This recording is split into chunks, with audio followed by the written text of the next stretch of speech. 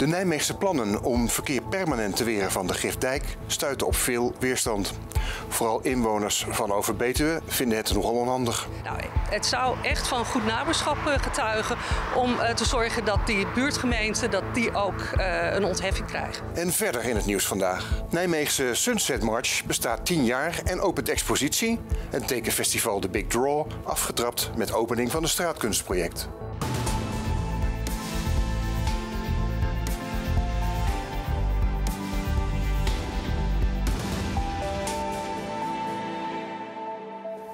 Nijmegen sluit de Gifdijk in het stadsdeel Noord vanaf november permanent af voor doorgaand verkeer.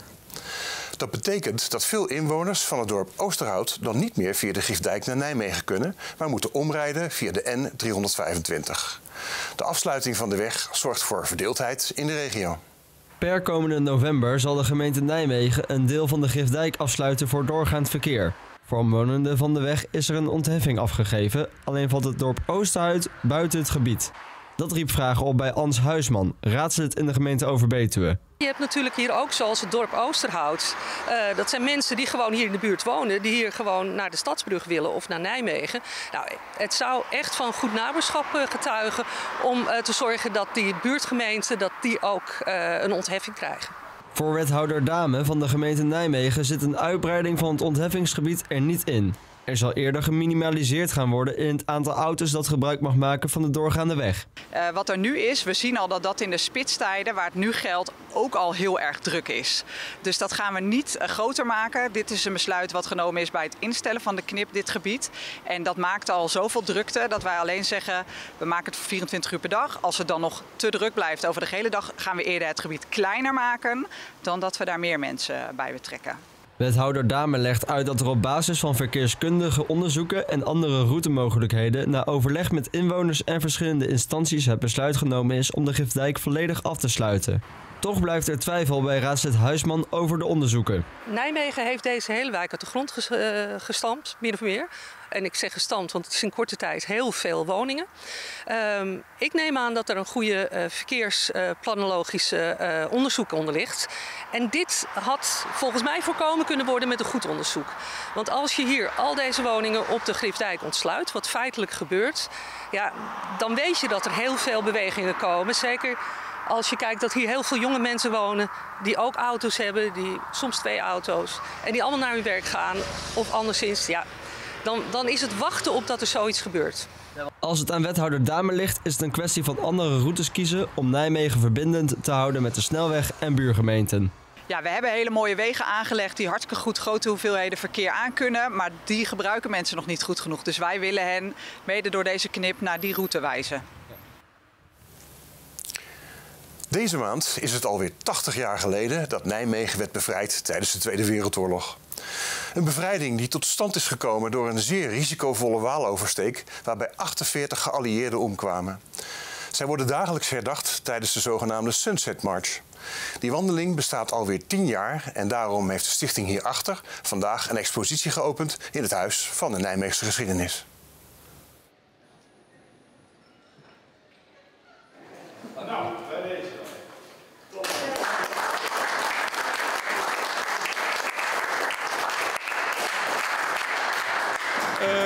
Ja, ja, een gedeelte gaat over de, de brug zelf, zeg maar.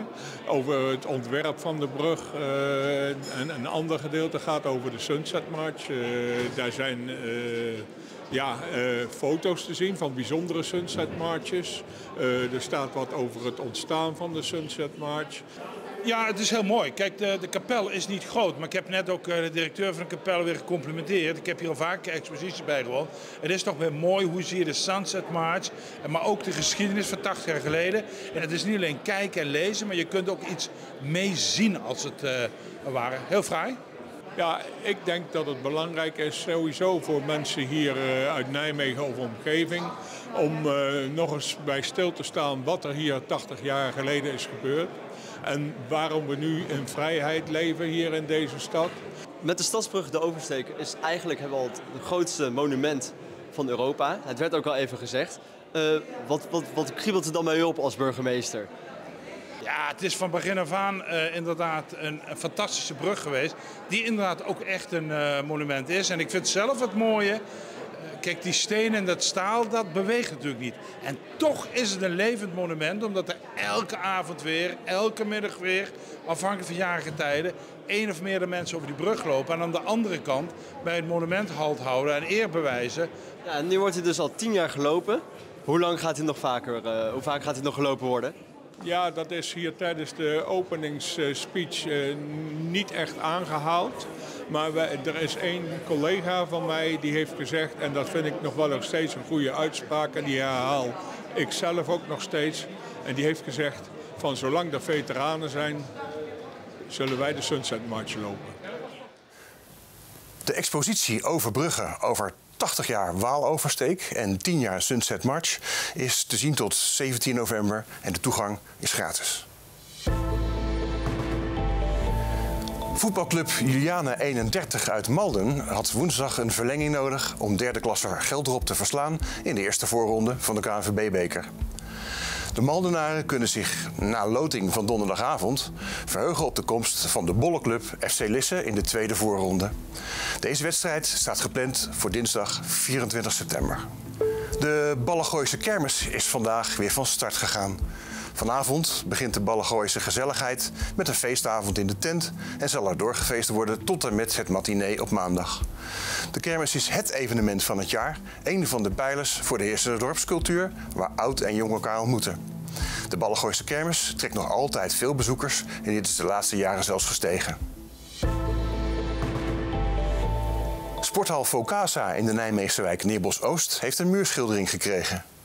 Het is onderdeel van het project Murals, dat meer kunst in de openbare ruimte moet bevorderen. Het kunstwerk is vandaag officieel onthuld en dient meteen als het startsein voor de 11e editie van het tekenfestival The Big Draw. Het kan de inwoners van Neerbos-Oost moeilijk ontgaan zijn, maar er is een muurschildering geplaatst op de buitenkant van Sporthal Vocasa. De metersgrote tekening is vandaag onthuld door burgemeester Bruls, die zelf ook onder de indruk is van het kunstwerk. Ja, ik vond het echt omvangen. Ik had eh, van tevoren een foto gezien. Dat zag er goed uit. Hè? Maar uh, dan zie je iets, uh, bij wijze van spreken, 10 bij 10 centimeter. Ja, dit is echt indrukwekkend. Dus ik zou ook iedereen oproepen om gewoon, het hoeft niet per se vandaag, maar op een ander moment eens te komen kijken wat hier is. Ehm, het zegt ook iets over de wijk. Hè? Je kunt heel duidelijk proeven de verschillende mensen die hier wonen. En je kunt ook nog op een plek, misschien zien we het wel achter mij, een selfie van jezelf maken. Waardoor het net lijkt alsof je in die schildering zit. En ik denk dat dat ook vooral heel leuk want anders zie je het. Je loopt weer verder, maar nu kun je er ook echt aan uh, deelnemen. Het huidige kabinet heeft in zijn regeringsplannen staan dat ze minder geld gaan uittrekken voor kunst en cultuur. Brul ziet toch mogelijkheden om verschillende vormen van kunst en cultuur te behouden in de stad. Ah, ik denk dat deze vormen van kunstkunde openbare ruimte, die kosten niet zo verdraaid heel veel uh, geld. Die draaien vooral op, heb je een goede locatie, uh, een goede kunstenaar of kunstenares natuurlijk. En wil je daar met z'n allen wat uh, van, van maken. Ik maak me meer zorgen over de kunst en cultuur misschien achter de muren. In een schouwburg, in een bibliotheek, hoe het daarmee gaat. Nou ja, als gemeente hebben we ook uitgesproken dat we het daar niet mee eens zijn. Ook niet met die btw-verhogingen die erbij horen. Um, daar zullen we mee doorgaan om eh, aan te geven waarom ook kunst en cultuur eh, er moet zijn. En dat je dus heel voorzichtig moet zijn daar te veel geld weg te halen. Kunstenares Coco Auerkerk vindt het belangrijk dat kunst uit eigen land zichtbaar blijft en blijft bestaan. Dit is gewoon talent in ons land. Want meestal met online en zo, je ziet talenten van over de hele wereld. Maar je vergeet soms een beetje wat je in eigen land hebt. En dat Nederland zo klein is, zie je dat niet totdat je een keer zo'n grote muur een keer voor je neus ziet staan. Dat je denkt van, oh ja, dat is toch wel echt veel vrolijker. Word je ook veel blijer van dan gewoon ja, een, eh, een, een, eh, een muur waar een beetje wat strepen over graffiti's zijn en waar niks mee gedaan wordt. Het komt niet vaak voor. Je volgt een studie geneeskunde en gaat vervolgens stage lopen in het theater. Voor Bart uit Nijmegen is dit toch de realiteit. Hij wil dokter worden, maar staat ook graag als cabaretier op het podium. Voor zijn laatste stage heeft hij nu de theatervoorstelling Ontsteking gemaakt.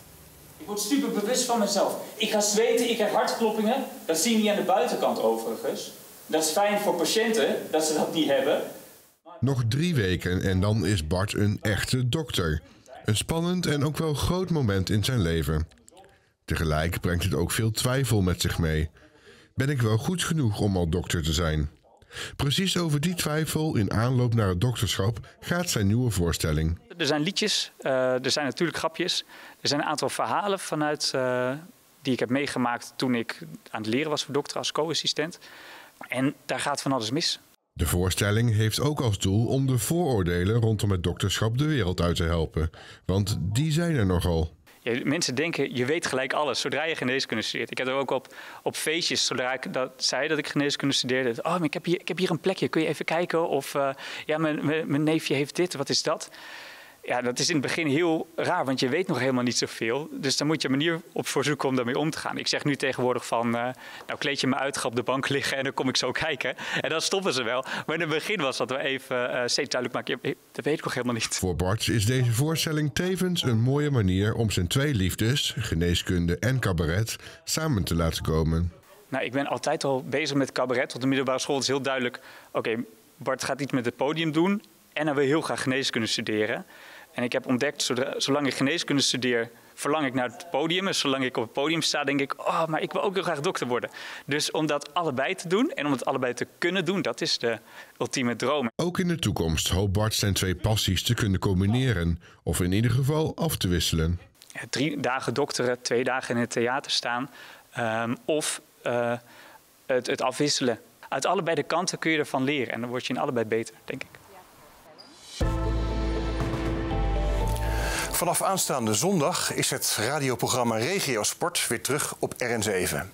Presentator Sander van Gelder praat je hierin weer wekelijks bij over de gebeurtenissen binnen de amateursport in onze regio. Sander zelf staat te popelen om weer te beginnen. Nou, elk begin is natuurlijk weer, uh, weer uh, prima. We staan zeker te popelen om te beginnen. Het seizoen is uh, afgesloten ergens in, juli. En we zitten nu alweer in september, dus iedereen heeft er weer, weer zin in. Zondagmorgen komen een aantal onderwerpen aan bod. met name het, het, voetbal, het amateurvoetbal. Momenteel zijn de divisieclubs zijn, al be bezig aan de competitie. Die gaan beginnen aan een derde wedstrijd. De Treffers bijvoorbeeld uit Groesbeek die speelt een tweede wedstrijd omdat er perikelen zijn met het veld. Maar de andere clubs die in de vierde divisie uitkomen, Juliane Malde, AWC Wiegen en uh, de derde club is uh, Orion Nijmegen. Daarnaast uh, natuurlijk uh, aanstaande zondag ook aandacht voor het para-ijshockey. En natuurlijk ook aandacht voor het KNVB-gebeuren. Afgelopen week is bekend geworden dat er, de KNVB toch op gaat treden tegen, tegen de sores die het afgelopen seizoen en de seizoenen ervoor plaatsvinden. En voor de rest uh, ja, zijn er natuurlijk uh, best wel kanshebbers om uh, de titel te gaan behalen. De promotie-degradatieregeling is weer enigszins normaal geworden. Dus het worden weer normale competities waar normaal gepromoveerd gaat worden. En ook via degradatieregeling, via de na-competitie promotie-degradatie bewerkstelligd wordt. Regiosport is elke zondagochtend live te horen tussen 10 en 12 op RN7, zowel op radio als op televisie.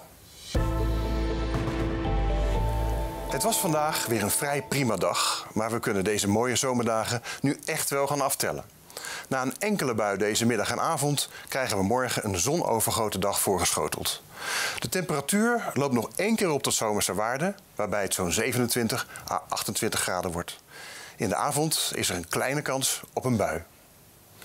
Zondag staat in het teken van een weersverandering. Het kwik zakt die dag terug tot maximaal 23 graden en verspreid over het land is er hier en daar een bui mogelijk. In de nieuwe week gaan we echt richting de herfst. Maandag is het nog 21 graden, maar verderop in de week zakken we zelfs terug tot maxima van 15 graden. Dit was het RN7 Regio Nieuws van vrijdag 6 september. Kijk voor het meest actuele nieuws op onze website rn7.nl of in de gratis RN7-app. Volg ons ook even op de sociale media. We zijn te vinden op Facebook, Instagram, X, Threads en TikTok. Graag tot maandag.